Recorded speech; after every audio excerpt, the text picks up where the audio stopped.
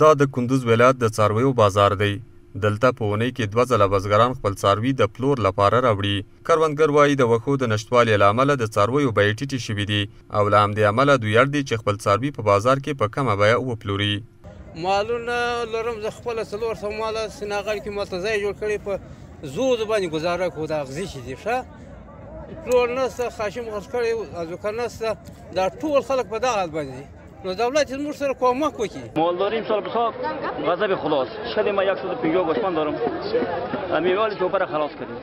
فهمیدی یه چیزی خدا نیست همین بسا که دوام کنه دار دیگه دیگه نیست د څارویو پلورونکي وایي د تیر کال په پرتله د خوراکي توکو په ځانګړي ډول د سپینو غوښو بیې لوړې شوي چې له همدې امله د څارویو بیې ټیټې شوې دي چې لامل یې وچکالي او نورو ولایتونو ته د وښو لیږدول بولي. امسال که در پارسال سیکرم بسیار قیمت است میمنه میره بدخشان میره مزار میره این هم طرفا کش زیاد داره تا 600 گرفته تا 1300 کم میفروشیم فعلا این میدان ها را هم سعی کنیم که بوقا کم نمانده بسیار مردم ها کر ذخیره کده است که که قیمت است قیمت میشه والا ما پایداگری میکنیم در کار نظر به پاسال امسال قیمت است کمبود هم است اگر میتون کمبود باشه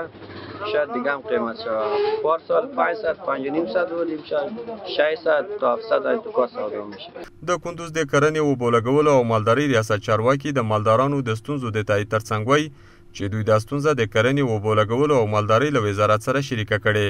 او په پلان کې لري چې په مرکز او ولسوالیو کې په مالدارانو د وښو د وېش لړۍ پیل کړي. د کندوز ولایت مالدارانو ته موږ ډاډ او اطمینان ورکوو چې ان شاءالله په راتلونکو نږدې ورځو کې به د دوی د مالونو لپاره خوراکۍ حیواني توزیع شي او موږ ان شاءالله پلان لرو چې په ټولو ولسوالیو کې او د کندوز ولایت ټولو